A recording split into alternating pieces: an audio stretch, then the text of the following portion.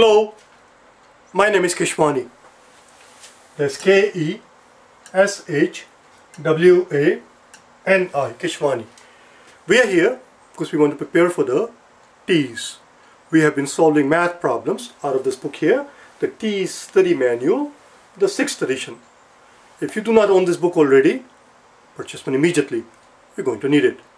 Today we'll understand, today we'll discuss the notion of cubic centimeters and milliliters. What is the difference between the cubic centimeters and milliliters and how are they related if at all? Let's find out, shall we? Before we get going into this thing, if you're interested in getting some word prob, this is from yesterday which is why it's there, which has nothing to do with today. If you're interested in getting some, some additional practice on word problems that similar to the ones that we did yesterday, you'll find more word problems from day number days 26 through 30. These days 26 through 30s, we have already solved all the math problems that appeared in the previous edition, the fifth edition that I'm holding in my hand here, and you will find the solutions to all of the math problems from this fifth edition from day number 1 through 80. And on day number 26 through 30, you will find the word problems in the event that you're interested in getting some more practice as I said before. Let's talk about it. Milliliter versus cubic centimeter. But before we worry about what is the difference between the two, let's first understand what exactly is a milliliter. A milliliter, milli as you know, means one thousandth of something. Milli means, milli means one thousandth of something. Milliliter, uh, milli, uh, milligram.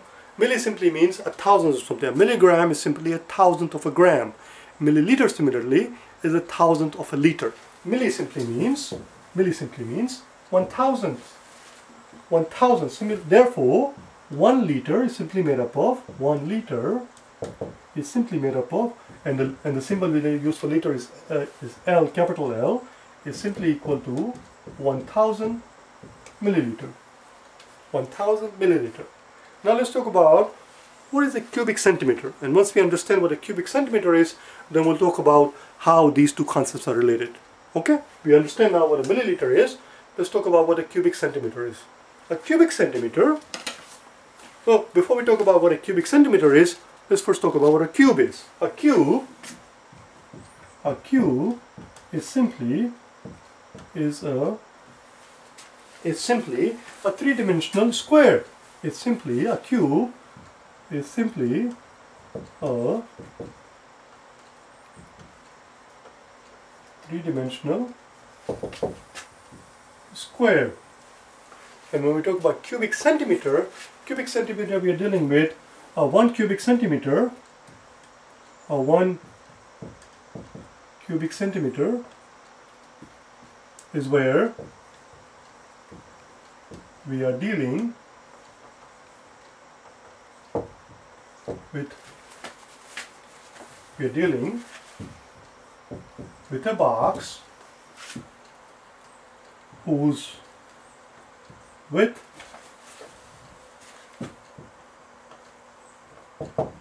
length and depth are 1 centimeter. Why 1 cubic centimeter? Why 1 cubic centimeter? We'll find out in a second. How do we find the volume of a rectangle? Everybody knows the volume of a rectangle is simply length times width times, uh, well, not a rectangle but rather, but a, a rectangular box. I uh, misspoke. Let's first draw a rectangle.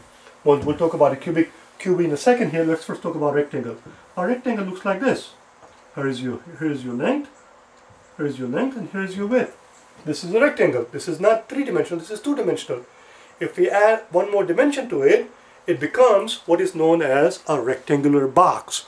A rectangular box is essentially a three-dimensional rectangle. It's not essentially three-dimensional rectangle, it is a three-dimensional rectangle. A, a, rectangle which has three dimensions to it, not just length and width, but also the depth, is known as a rectangular box, such as this one.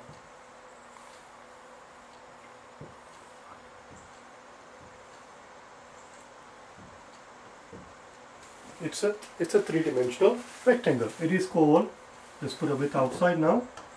It has the width. Well, here, we put the width over here, it make more sense, and this is the depth, or height if you like. Length times width times height. This is how we find the volume of a rectangle. Length, length times width times height is how we find the volume of a rectangle. When we have a box, or when we rather when we have a rectangle, rather when we have a, a square, a three-dimensional square, a square as we know, if you have a two-dimensional square, if you have a two, uh, if you have a square, a square is so called. A square is so called because length and width are the same. Length and the width are the same here. Length equals width. And since length and the width are equal to each other, we do no longer use the term length and the width because they are one and the same. We just speak in terms of size. We just speak in terms of size. But here length and width are equal. If we add one more one more dimension to it, a third dimensions,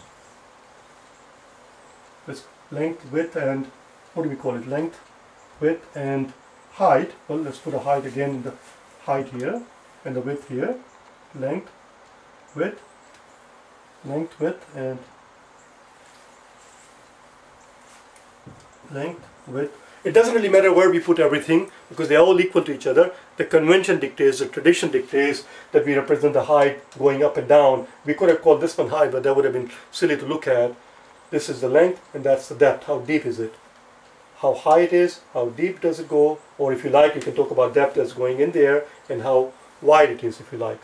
There you go, there is your rectangular box here. What happens what happens when all of the three dimensions, they're all equal, the length, the width and the height, they're all equal. What happens when they all equal to one centimeter? Aha! When they're all equal to one centimeter, now the volume, now the volume of that cube, this is, this is a cube, if it's two-dimensional, it's a square. When it becomes three-dimensional, the term changes. We use the term cube to describe a three-dimensional square. Just like a three-dimensional rectangle is called a rectangular box, a three-dimensional square is called a cube. It's a cube where all sides happen to be one centimeter. So how do we find the volume of this thing? It's very simple. The length, which is one centimeter, times the width, which is one centimeter, times the height, which is one centimeter. Watch what happens. 1 times 1 times 1 of course is 1. But then what happens to the unit? We have cube oh, or so rather centimeter times centimeter times centimeter. We must take care of our units properly. So it's 1 and then the unit is centimeter times centimeter times centimeter which becomes 1 centimeter cube. 1 centimeter cube. It should be read as it should be read as 1 centimeter cubed it should be read as one centimeter cubed. But the but the tradition, the convention dictates, the layman's terminology, the common person's way of reading it, common person, the lay person, the ordinary person does not read this as one centimeter cubed, which is what a mathematician will insist that you read this as. Because you see, if you have something like this, this is this is two cubed. This is two cubed. This is not cubic two. We don't call it cubic two to be. This is 5 cubed. 5 cubed. It's not cubic 5. This is 1 centimeter cubed. This is centimeter cubed. centimeter cubed. But the ordinary ways, ordinary person's language, the, the lay person's language, the common person's language dictates that we read this as, it is, it, it, read this as cubic centimeter rather than 1 centimeter cube. It is called a cubic, cubic centimeter. So if somebody asks us what's the volume, what's the volume of this cube, we will say the volume of, because they're all the size are equal to one centimeter, the volume is one cubic centimeter. One cubic centimeter, even though strictly speaking it should be read as one centimeter cube. One centimeter cube that's how it should be read as far as the mathematicians are concerned, as far as your math teacher is concerned, as far as the math textbooks are concerned. But in our everyday speech, we read this as one cubic centimeter. You understand? Just like we say squared feet. Squared feet. What's a feet, feet squared? We don't say the area, the area, the, what's the area of this bedroom? We don't say it's 100 feet squared, we say it's 100 square feet. Again, it's wrong, but that's how we read it. We say, you see, if it's 100, it should be it should be read as 100 feet squared. 100 feet squared. But in our everyday language, we read this as 100 square feet. 100 squared feet. Cubic centimeter. Cubic feet. Cubic mile. Do you understand? So now that we understand what one cubic centimeter is, what is the relationship between a milliliter and a cubic centimeter? Now we're, very, very, we're getting very close to it. Yes, we need the room so we can have to erase all this thing. We're almost done. We're almost done. Here's the relationship. The, the amount of liquid, the amount of liquid that you can pour, that you can pour in a cubic box that is one centimeter by one centimeter by one centimeter. Pretend that this is open from the top. This is the top. The, the top is this this. The top here is open, obviously. It's a box. It's a it's a squared. It's a, cube. It's a, cube. I was going to say squared box. That would have sounded weird. It's a cube. A cube is a three-dimensional square. A three-dimensional square where all the three sides are equal. And here, all three sides happen to be one centimeter long. It's a box, it's open on the top, and I take a glass, I, I, I take a water from the faucet in the glass, and I start pouring in it. I start pouring in it until it's completely full. The amount of liquid that I will end up pouring in this cubic box, which is one centimeter by one centimeter by one centimeter, is called is called one milliliter. That's it. We're done. That's it. That's all there is. In other words, 1 milliliter is simply another way of saying 1 cubic centimeter. In other words, in other words,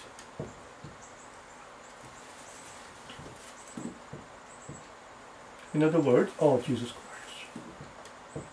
In other words, I swear to God, one day I'm going to make a video without swearing at all.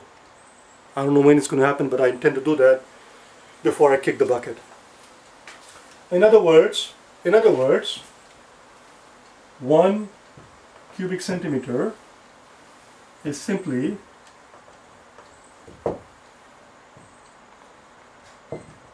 on the way of saying one milliliter. Or if you like, or if you like, one milliliter is another way of saying one cubic centimeter because the amount of liquid that we're going to pour in this box, that amount of liquid is called one milliliter, which is one cubic centimeter. That's what the that's what the volume of this thing is. Now let's do problem number two, shall we? Let's do problem number two. Just give me one brief second.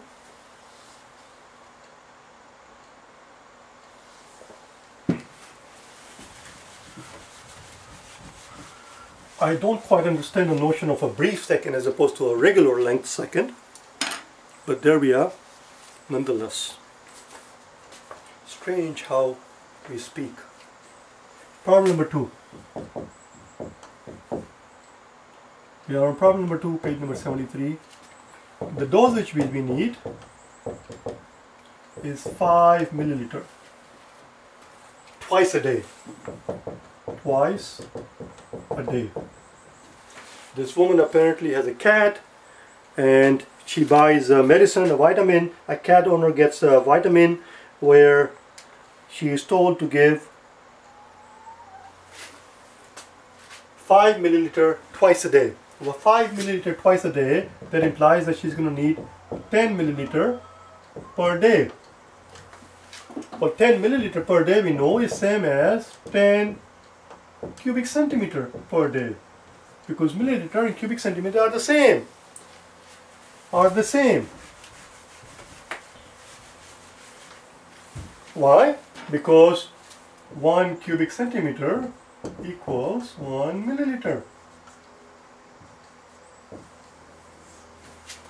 this concept this concept measures the amount of space that is inside a three-dimensional container. Obviously, because the, the container has got to be obviously three-dimensional. That was a damn silly thing to say.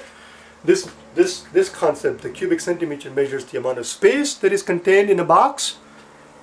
This concept measures the amount of liquid we can have. Well, the amount of liquid that you can pour in a box that happens to be one centimeter by one centimeter by one centimeter, a cube that is, that is one centimeter by one centimeter by one centimeter, the amount of liquid that you can pour in it until it's filled up to the rim, that amount of liquid is called one milliliter. So this concept, milliliter, as I said one more time, measures the concept of liquid, or the amount of liquid that is. This measures the amount of space, but they are one and the same.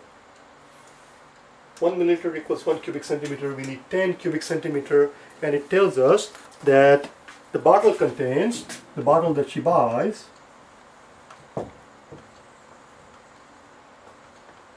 bottle contains 300 cubic centimeter. CC stands for cubic centimeter, cubic centimeter right here. Alright, oh by the way, I never did make it clear. This symbol, CC, is what I've been using so long as this part here, cubic centimeter. Cubic centimeter. Such an important thing and I almost forgot it. Instead of writing it like this, you can we can mathematicians would write it like this and mathematician will read this as centimeter cubed. One more time, mathematician will write it like this and he or she will read it as centimeter cubed. But you and I, the normal being that is, the lay people, we write it like this, cc, which stands for cubic centimeter, and we don't read this as centimeter cube. We, to us, this is read as cubic centimeter. Cubic centimeter, and we represent it with its letter cc, cubic centimeter. So, the bottle contains 300 cubic centimeter, which is same as 300 centimeter cubed, which is same as 300 milliliter. But we need 10 milliliter we need 10 milliliter obviously it's a, silly question therefore therefore this symbol represent this symbol means therefore right, three dots like this this means therefore therefore 300 milliliter because we need 10 milliliters bottle contains 300 milliliters we need 10 milliliters therefore 300 milliliter will last will last 30 days obviously. There's nothing to it. Will last 30 days. And if you were to do the math, which we damn nothing to worry about it because it's too, sim too simple, but this is here, here it is. 300 milliliter is the, what the bottle contains. We need 10 milliliter per day. And what's going to happen is that, what's going to happen is that, since units are very important, this is very, very simple, but I don't want you to get in the bad habit of not worrying about the units as a nurse, you're going to have to deal, pay very close attention. Numbers are not enough. Numbers by themselves have absolutely no meaning at all if you got the units wrong. You must have the right units. So what happens? Milliliter cancels out with this milliliter, and this, this day that is at the bottom here will end up on the top, and 300 divided by 10 is just 30. 30 days. 30 days.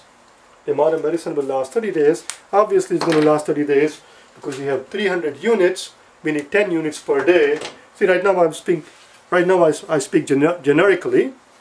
Right now I speak generically. I use generic term units, but you know what the units are here.